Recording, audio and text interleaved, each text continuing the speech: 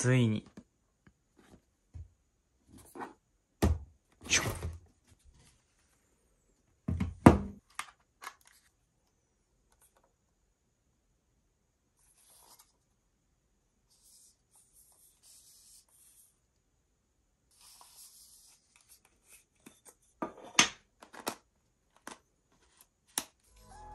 やべえ、超かっこいい。新しいレンズ買っちゃいました。今回はこの最強レンズをご紹介したいと思います。まずはオープニングから、どうぞ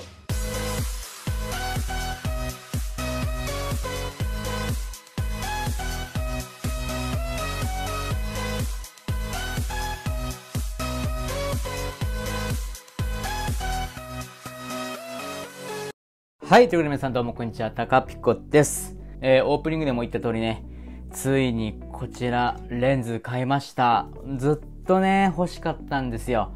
やっと買えたって感じです。はい。えー、今回購入したのはソニーの APS-C ミラーレスカメラ用の標準ズームレンズタムロンの 1770mmF2.8 のレンズになります。でね、結構このレンズ発売してからね、いろんなクリエイターさんが動画で話しているので、まあこのレンズについてのね、詳しいこととか、まあ詳しいスペックとかそういったものはね、まあ他のクリエイターさんの動画を見ていただければなと思います。まあとりあえずね、あの、僕なりになぜこのレンズを買ったのかっていうところで言うと、まあ本当に、えー、焦点距離が 17mm から 70mm とね、もう広角から中望遠まで、本当にこのレンズ1本でね、オールマイティに、えー、写真から動画まで撮影できるということと、えー、F2.8 投資なので、広角でも望遠でも明るく撮れるというところにね、魅力を感じたのと、これあの、タムロンのね、VC というね、えレンズに手ブレ補正がついているということでね、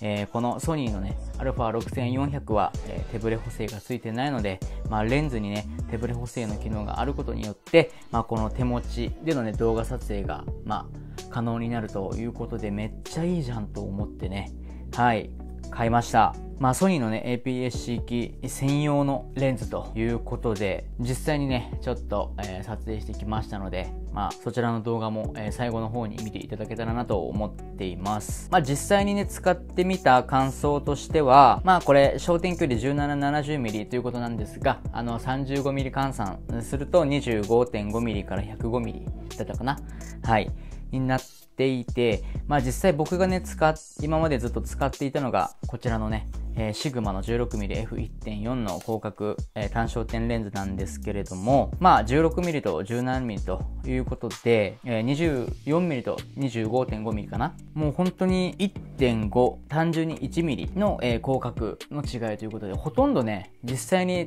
手持ちで動画撮影してみたんですけど、変わらなかったですね。ほぼ。はい。もう僕的にはあんまりほぼ一緒かなと思ったところと、あと 70mm、まあ 105mm なんですけど、本当にね、これは手持ち撮影で動画撮るときにめちゃくちゃいいなと思いました。ずっとね、もう単焦点レンズで撮影してたんですけど、このね、ズームができるっていうところがね、もうすごい便利。あの、画角がすごい調整できるんで、あの、被写体に対するね、よりの、まあ、シーンだったりとか、顔の表情とか、そういったものがね、すごくこう、手軽に撮れるなと思いました。はい。すごいいいなと思いましたね。で、実際、ま、使ってみて、この僕の購入ポイントでもあるレンズの手ブレ補正ということで、まあ、正直その、まあ、ジンバルにはかなわないなって、まあ、そこはね、あくまでもレンズの手ブレ補正なんで、まあ、どうかなと思ってたんですけど、まあ、手ブレ補正付きのレンズであっても、ブレるとこはブレます。はい。結構、なんて言うんだろう、下半身固定のね、